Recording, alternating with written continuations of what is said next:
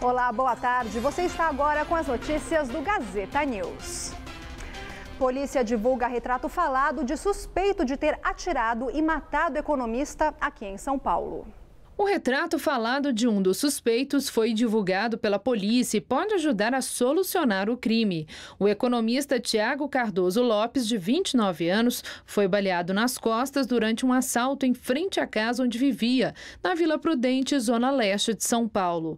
Tiago iria se casar em dezembro do ano que vem. Ele chegava em casa com a mãe após a degustação de doces e salgados, que seriam servidos na festa de casamento. Ele foi cercado por três criminosos armados que tentaram roubar seu carro, mas só levaram as chaves. Tiago chegou a ser socorrido, mas não resistiu aos ferimentos. E vamos com as informações do trânsito. São Paulo tem agora 85 quilômetros de lentidão, segundo a CT. Começamos pela Radial Leste. À direita, no sentido bairro, trânsito um pouquinho carregado. Já no outro sentido, o motorista consegue desenvolver boa velocidade. Agora, Avenida Paulista, dos dois lados, fluxo intenso, mas parada apenas por causa do semáforo. Agora, corredor Norte-Sul, Avenida Moreira Guimarães, fluxo intenso dos dois lados.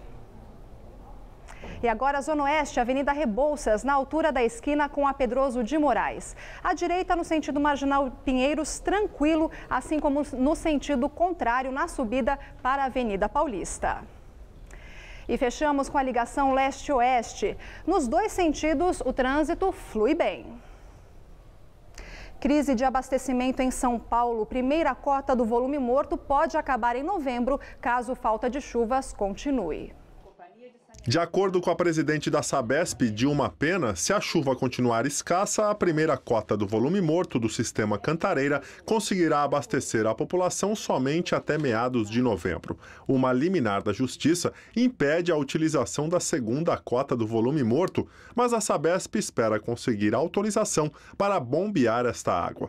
Dilma Pena admitiu a piora na distribuição de água na capital paulista e atribuiu o problema ao calor excessivo dos últimos dias. De acordo com ela, quando o consumo aumenta, a pressão da água na tubulação cai, o que dificulta a vazão para regiões mais altas. As declarações foram dadas durante depoimento à CPI da Câmara Municipal, que investiga a crise hídrica. Hoje, o sistema Cantareira operava com apenas 4,3% de sua capacidade. No mesmo período do ano passado, o reservatório funcionava com 38,3%. E moradores de Itu, no interior de São Paulo, sofrem com o racionamento de água há oito meses. Os mananciais que abastecem a cidade estão com apenas 2% da capacidade. Em algumas casas, a água não chega a nove dias. Enquanto a população improvisa, a prefeitura aguarda a chegada das chuvas. Há oito meses, os cerca de 170 mil habitantes da cidade de Itu, aqui no interior de São Paulo, enfrentam oficialmente o racionamento de água. Para entender como está a situação hoje, a gente vai conversar com o Maurício Camilo, que é coordenador de operações da concessionária aqui da cidade. Maurício, como que está a situação hoje aqui em Itu? Olha, Tassi, hoje nós estamos com, a, com 2% da reservação total de todos os mananciais do município.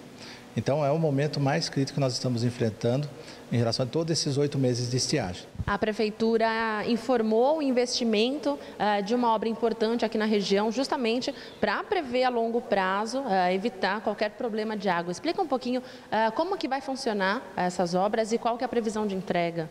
Bom, as obras informadas e, e já iniciaram também são as obras do captação de água do Rio Mombaça e do Pau d'Alho. Essas obras é, é uma, tem uma extensão total de 22 quilômetros, tá? e vai trazer água aqui para a estação do Rancho Grande. Porém, é uma obra que vai ficar pronta só em 2015. Então, é uma obra que vai ser muito importante para pôr fim a qualquer, futuramente, né, auxiliar também nessa qualquer estiagem que nós possamos ter, e, mas não acaba com o nosso com o racionamento. Então, é obras que vai ficar futuramente. No momento, nós dependemos de chuva mesmo, que estão previstas agora para o final de novembro, início de final de outubro e início de novembro.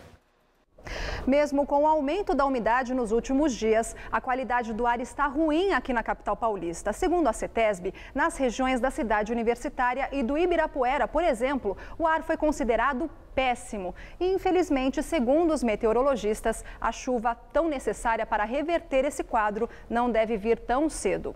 Vamos aos detalhes da previsão.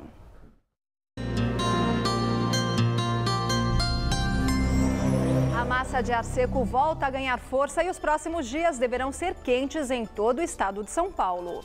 Essa massa garante sol forte, calor e ar seco em praticamente todas as regiões paulistas. Apenas na área de Franca, nuvens carregadas podem provocar chuva isolada no período da tarde. No centro-oeste, os termômetros chegam a marcar 40 graus em Araçatuba. No norte paulista, máxima de 38 graus em Barretos. E no litoral, máxima de 28 graus em Santos. Aqui na capital, o tempo fica firme e o calor aumenta nos próximos dias, com máximas de 32 graus amanhã, 34 na sexta e 36 graus no sábado. Vamos a um rápido intervalo e voltamos já.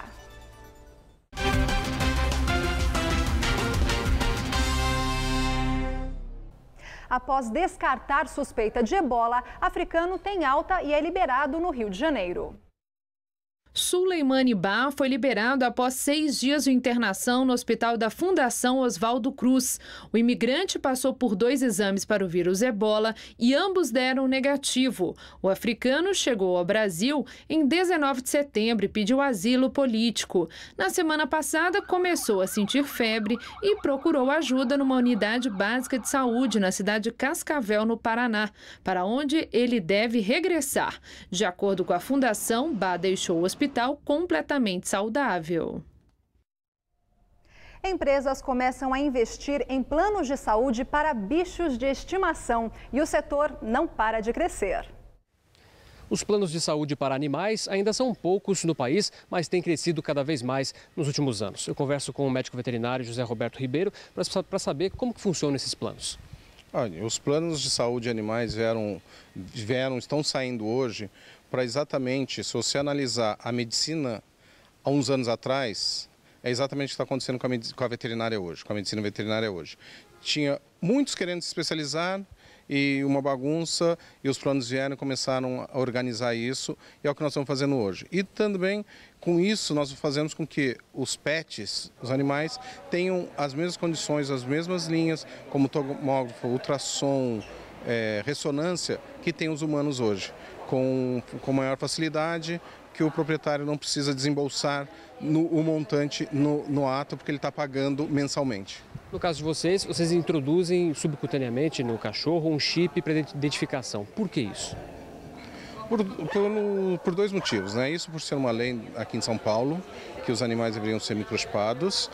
Outro, nós conseguimos controlar o, o animal, o, o pet, se é esse mesmo, e conseguimos, e se por acaso um dia ele vier se extraviar, nós já temos um, um banco de dados vou pegar com esse número de, de chip, eu vou ligar, nós vamos localizar, sabemos quem que é o proprietário.